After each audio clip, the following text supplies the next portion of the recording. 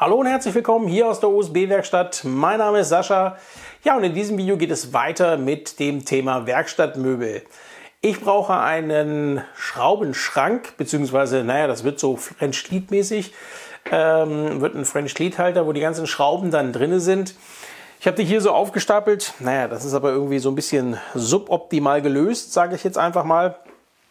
Ich will unten ähm, zwei Reihen haben mit solchen Kästen.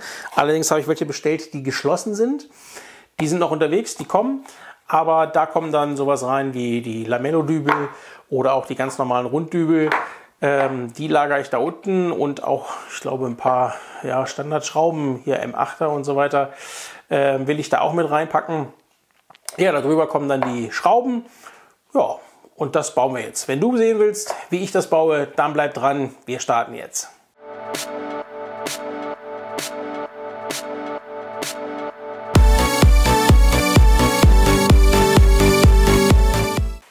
Der eine oder andere zeichnet auf dem Blatt Papier. Ich zeichne auf dem iPad. Hier siehst du schon mal, hier unten kommen die ähm, M6, M8, M10er Schrauben hin, die Flachdübel und hier die Holzdübel und hier an der Seite kommen dann auch ein bisschen die Pocket Holes rein.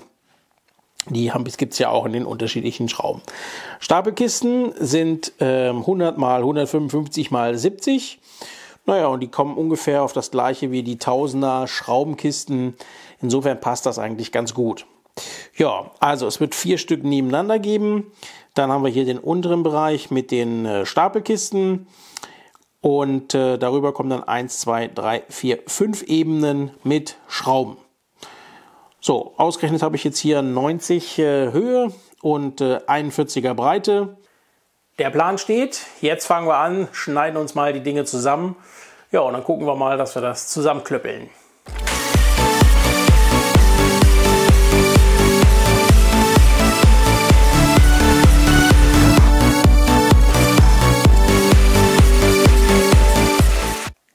Bretter sind jetzt mal geschnitten und ähm, jetzt werde ich die Sachen mal so ein bisschen zusammenlegen und mir das Ganze mal anschauen.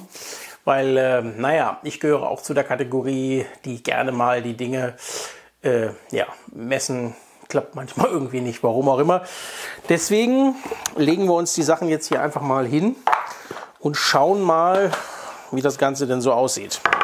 Aua. Wie so. Ah, Kacke. Ah, das ist der Nachteil bei USB. Da kriegst du ruckzuck mal einen Spreißel rein. Hier, so.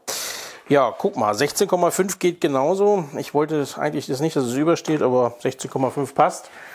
Jetzt äh, äh, nehmen wir noch mal eine etwas längere Spax hier. Spax ist nicht ganz so lang wie die Jetfast-Schrauben. So, so sieht das dann aus. Ja, und die passen auch so einigermaßen. Genau, so hatte ich mir das gedacht. Und damit das dann auch einigermaßen locker ist, genau. Ja, nicht ganz eng, so dass man sich da auch drin bewegen kann, die, die Teile, passt das.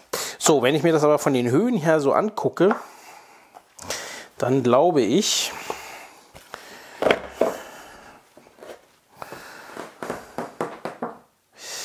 ja, sollte ich da auf alle Fälle mal so ein bisschen Platz dazwischen lassen. Ne? Legen wir mal den da hin. Damit man da auch richtig gescheit rankommt, ne?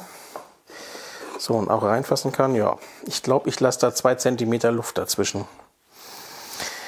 So kann man wunderbar ran. Rechts und links kann ich es hin und her schieben, dass ich da rankomme. Auch dazwischen, das passt. Rechts und links ist schon gut, aber von der Höhe machen wir das, glaube ich, etwas anders. So, so, messen wir mal, was wir jetzt hier haben. Wir haben hier eine Höhe von, äh, messen will auch gelernt sein, 10,5. 10,5 in der Höhe. Und jetzt ist die Frage, ob das äh, sich ausgeht mit meinem Brett.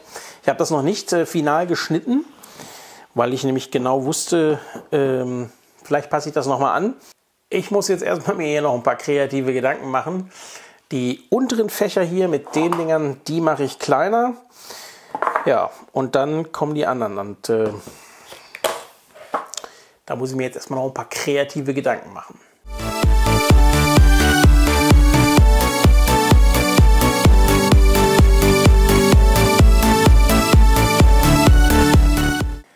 So, inzwischen sind alle Böden drinne, alle Einlageböden fest verschraubt. Ja, und wenn ich mir das Ganze jetzt so angucke, sieht das hier unten sogar richtig gut aus, wenn das Regal steht. Ähm, ursprünglich war ja geplant, dass ich das jetzt hier hinterher noch wegschneide und dann als French Cleat aufhänge. Aber ich glaube, das mache ich nicht. Das Regal kommt so erstmal da in die Ecke auf die, auf die Werkbank oder auf die ja, Werkzeugwand neben die French Cleat Wand. Ähm, ich glaube, ich stelle das erstmal hin. Das gefällt mir eigentlich ganz gut. Dann sind zwar jetzt die ähm, Einteilung für die Stapelboxen oben, ist aber auch nicht weiter schlimm. Ähm, Erstmal kommt jetzt dann nur noch die Rückwand dran. Ja, und wenn ich das tatsächlich später dann doch nochmal aufhängen möchte, ähm, kein Problem, kann man ja unten das wieder absägen, French Cleat Leiste dran. Ja, und dann kann ich sie auch entsprechend als French Cleat aufhängen. Erstmal lasse ich das so, bleibt so. Ähm, so ist das manchmal, wenn man was baut und stellt dann während des Baus fest, dass man dann doch das eine oder andere anders macht. Okay, was uns jetzt noch fehlt, ist erstmal die Rückwand. Die werden wir jetzt auch zusägen. Ich war in der Zwischenzeit auch im Baumarkt, habe ein bisschen äh, Material besorgt. Ich hatte nämlich kein 12 mm USB mehr. Jetzt habe ich das auch. Das sägen wir uns jetzt zu, schrauben das hinten drauf. Ja, und dann können wir auch schon einräumen.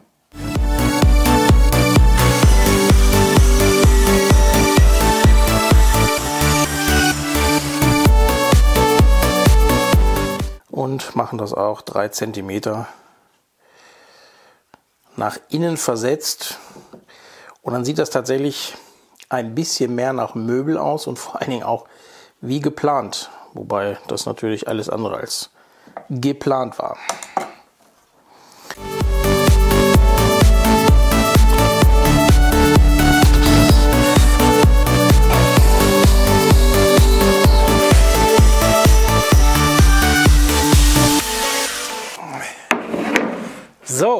Platte ist da. Jetzt müssen wir die draufschrauben. Ich will natürlich auch hier in der Mitte äh, noch ein paar Schrauben machen, deswegen werde ich mir gleich die Mitte noch mal anzeichnen, entsprechend verlängern, sodass ich dann auch äh, auf der Platte die Mitte äh, habe.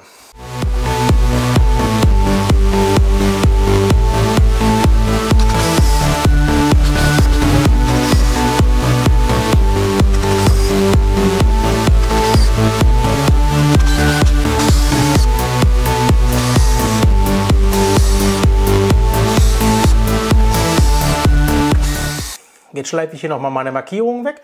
Ja, dann können wir einräumen.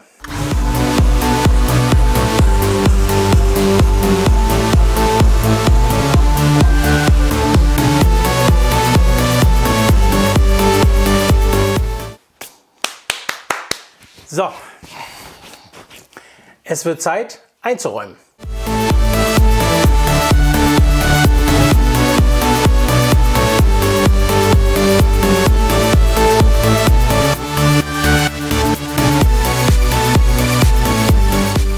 Das Schraubenregal ist fertig, fertig einsortiert und ähm, ich finde, das passt da richtig, richtig gut hin, wo es jetzt steht.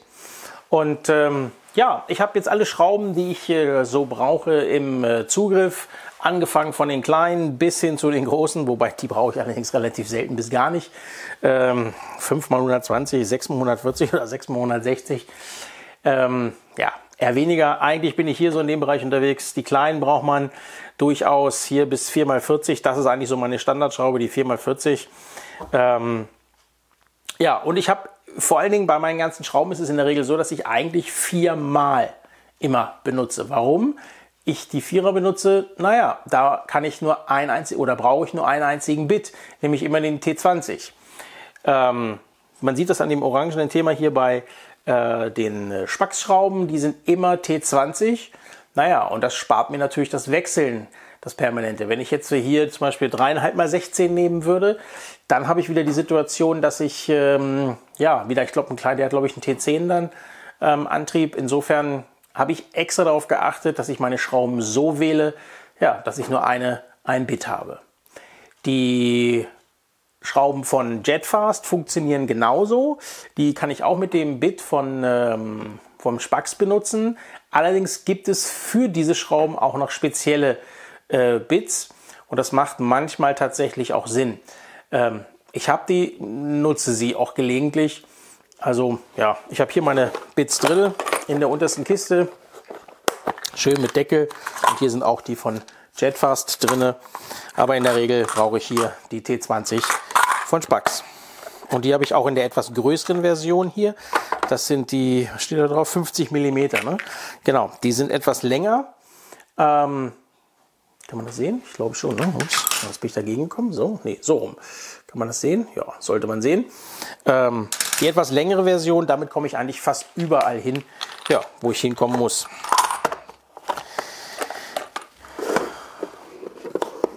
So, alles beschriftet. Hier sind die Lamellos, ähm, alle Kästen geschlossen, damit sie nicht einstauben. Alle vernünftig beschriftet. Ja, so wie das äh, sein soll, denke ich. Mir gefällt's. Ähm, jetzt würde mich natürlich deine Meinung interessieren. Was sagst du zu meinem Schraubenregal? Was würdest du anders machen? Und ähm, ja, hinterlass mir gerne einen Kommentar. Und wenn dir das Video gefallen hat, bitte auch gerne einen Like.